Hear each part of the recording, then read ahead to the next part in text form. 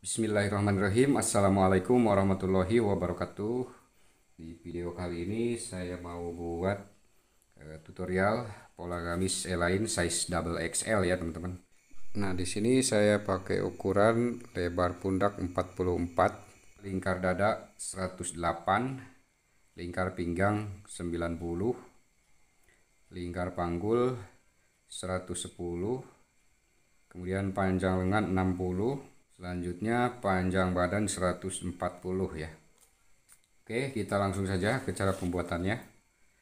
Pertama seperti biasa kita buat garis di sini. Untuk garis bantu di bagian atas ya. Ini posisinya di eh, atas. Selanjutnya ukur untuk panjang bajunya. 140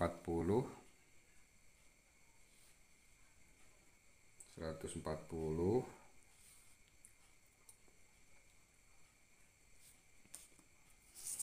lalu kita garis di sini. Setelah ini buat untuk kampuh resleting 3 cm ya. Kampuh resleting 3 cm di sini. Lalu buat garis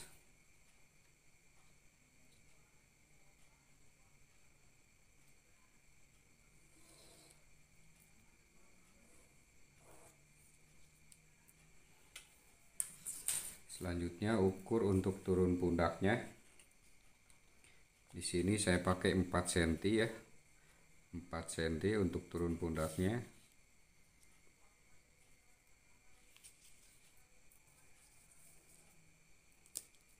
Lalu kita buat garis. Nah setelah ini kita buat turun lingkar dada ya turun lingkar dada setengah dari lebar pundak 44 berarti 22 ya untuk turun lingkar dadanya dari garis yang kedua ya dari sini. Di sini 22 22 ya. Lalu turun lingkar pinggang dari atas dari garis paling atas 44 ya. 44 44 selanjutnya e, untuk pinggul ada di garis lingkar dada di sini turun 35 ya. 35 kita buat garisnya di sini. Ini untuk garis lingkar dada ya. Kemudian lingkar pinggang. Selanjutnya lingkar panggul di sini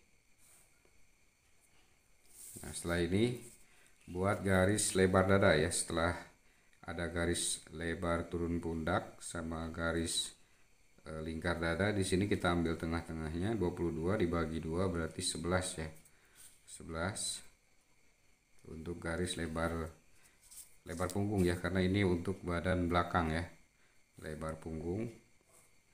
Nah selanjutnya ukur untuk lebar pundaknya ya. Kita ambil setengahnya di sini. Setengah lebar pundak yaitu 44 dibagi 2 berarti 22 di sini. 22 ya. Nah, lalu ukur untuk eh, kerung leher bagian belakang. Di sini ke samping eh, 9 cm saja. Lalu turun 3 cm ya. Turun 3 cm kemudian buat garisnya di sini buat garis kerung leher bagian belakang ya. Lalu buat garis turun pundak di sini.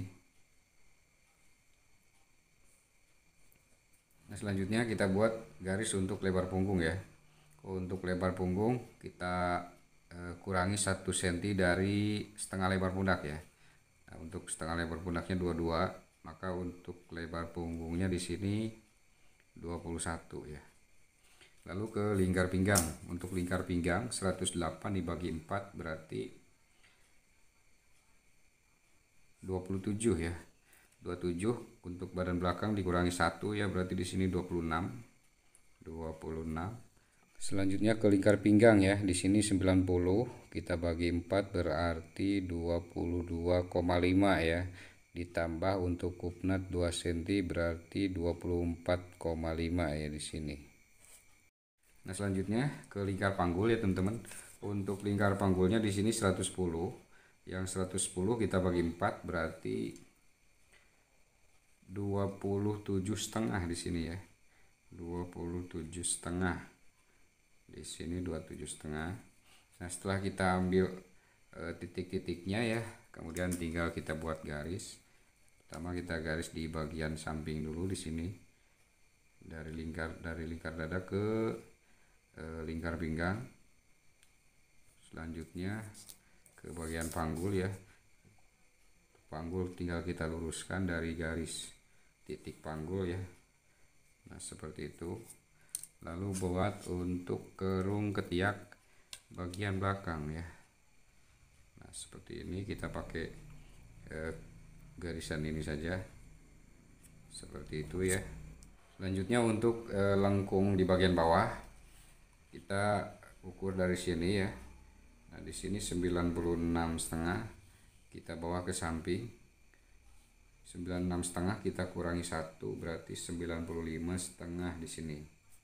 Seperti itu tinggal kita buat garisnya. Nah, ini untuk di bagian bawah selesai kemudian tinggal kita buat kupnat ya. Untuk kupnat di sini 26 dibagi 2 berarti 13 dikurangi 1 nah berarti 12 dari garis eh, kampu resleting ya 12 cm lalu turunkan 3 cm di sini turun 16 ya 16 lalu buat garisan di sini selanjutnya buat atau bentuk kupnatnya ya di sini. 1 cm ke samping kanan dan ke kiri ya 1 cm 1 cm lalu buat untuk garisnya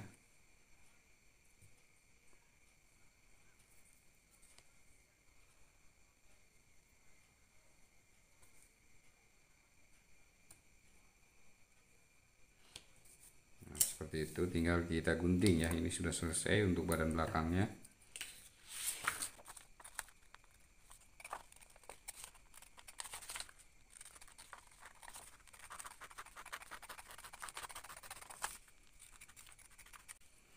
Nah setelah ini kita buat untuk eh, badan depannya teman-teman ya.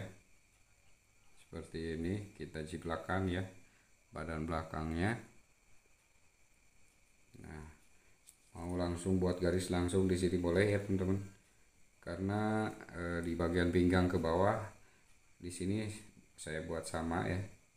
Jadi tinggal kita jiplak badan belakangnya. Seperti ini ya. Ini sampai ke garis pinggang ya. Sampai ke garis pinggang. Lalu di bagian atas di sini garis eh, pundak ya. Nah, lalu kita buat garis-garis yang lainnya. Di bagian panggul kemudian di bagian pinggang lalu lingkar dada lebar dada kemudian turun pundak ya di sini. Nah seperti itu ya. Tinggal kita sambungkan garis-garis ini ya nah seperti ini.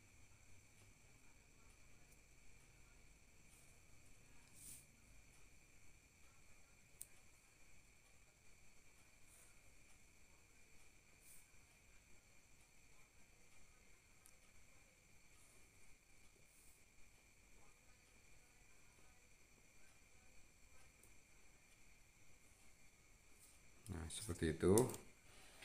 Kemudian ukur di garis e, lebar dada ya lebar dada dari lebar pundak di sini 22 ya kita kurangi satu setengah ya.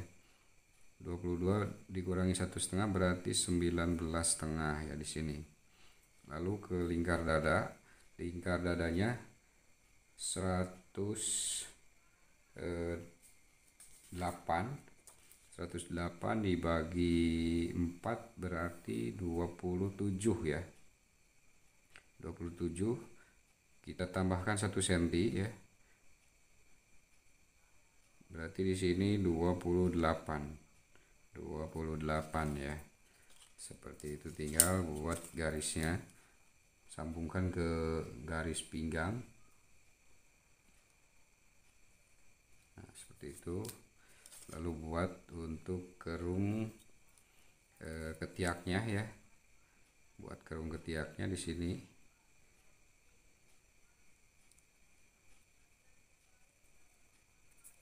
Nah seperti itu. Kemudian turunkan untuk e, lingkar lehernya di sini 12 cm ya. 12 cm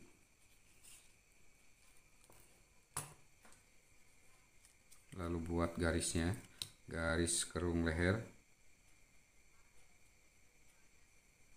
Nah seperti itu ya. Selanjutnya buat kupnat. Kupnat kita ukur lingkar dada di sini 28 dibagi 2 berarti 14 dikurangi 2 ya. Berarti di sini 12 ya. 12 12 ya. Turunkan dari lingkar dada 4 cm 4 cm dari lingkar pinggang 16 lalu buat garis. Ini kita gerak cepat saja ya teman-teman. Biar tidak terlalu panjang di videonya. Lalu ukur 2 cm ya untuk kupnatnya. 1 cm ke samping kanan dan kiri ya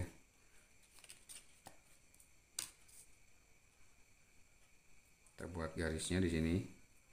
Garis kupnat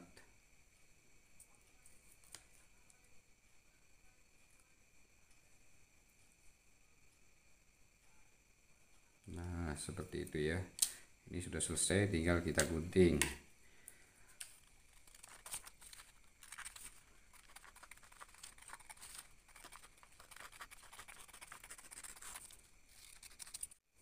Nah setelah selesai di bagian badan depan sama belakang ya kita ukur dulu untuk lingkar ketiaknya.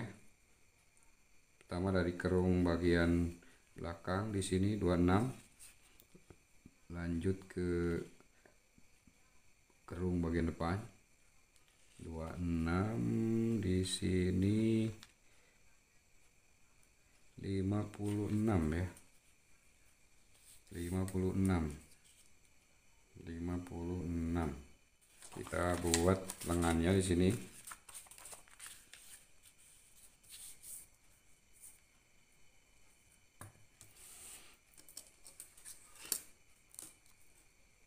Buat garis ya. Buat garis dulu. Lalu ukur ke panjang lengannya. Panjang lengannya di sini pakai 60 ya. 60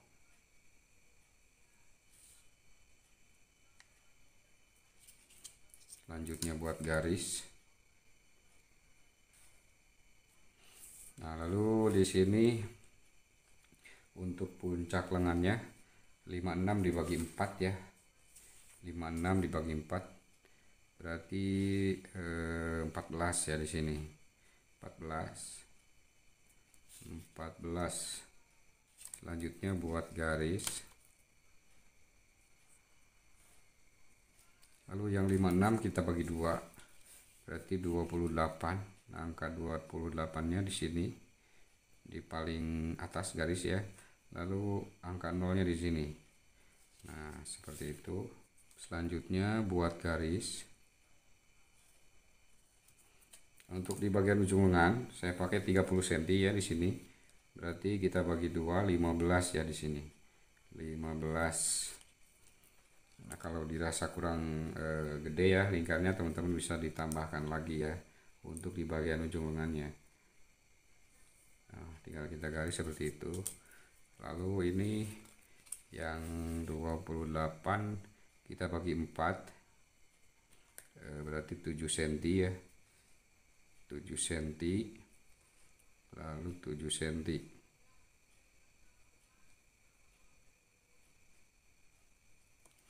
7 cm yang pertama majukan 2 cm ya. 2 cm lalu 1 cm di sini. Kemudian paling bawah mundur setengah cm seperti itu ya. Lalu buat untuk kerungnya di sini. Nah, ini sudah selesai tinggal kita gunting. Lalu di kerung bagian depan kita kurangi 1 cm ya. Kita kurangi 1 cm kita gunting.